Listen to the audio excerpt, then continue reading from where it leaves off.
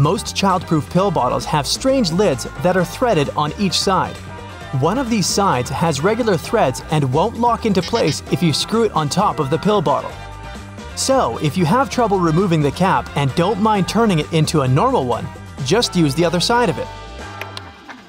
The keyboard has inherited its weird non-alphabetical order of letters from the typewriter.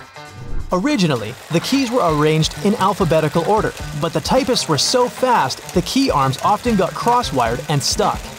Keyboard manufacturers decided to randomize the order to slow down the typists and keep the machines safe.